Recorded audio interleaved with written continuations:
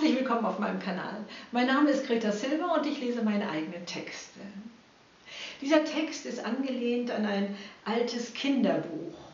Du schaffst es, kleiner Pinguin, heißt das Buch. Der kleine Pinguin driftet auf einer kleinen Insel ab, raus aufs Meer. Die Insel entpuppt sich als Wal und wird sein fürsorglicher Freund. Ihm gesteht er seinen sehnlichsten Wunsch, fliegen können. Der Wal hatte eine Idee. Stell dich auf mein Atemloch, rät er seinem Freund. Ich werde dich ganz vorsichtig mit meinem Wasserstrahl in die Luft heben und von dort kannst du dann fliegen. Der Pinguin war außer sich vor Freude, als er da oben auf der Wassersäule so weit über das Meer schauen konnte.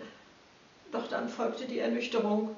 So sehr er auch mit seinen kleinen Flügeln schlug und ruderte, er plumpste immer wieder runter. Doch eines Tages, da, endlich, schaffte es der kleine Pinguin. Hurra, er hielt sich in der Luft und ja, schon bald flog er loopings und machte, juchzend vor Glück, übermütig die tollsten Kunststücke. Irgendwann kam jedoch die Sehnsucht nach seiner Sippe auf der Eisscholle und der Wal brachte ihn zurück.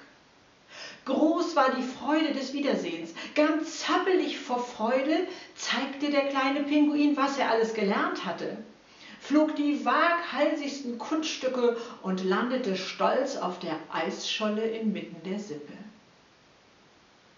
Diese fragte ihn, wieso reicht es dir nicht so zu sein wie wir? und drehten sich weg.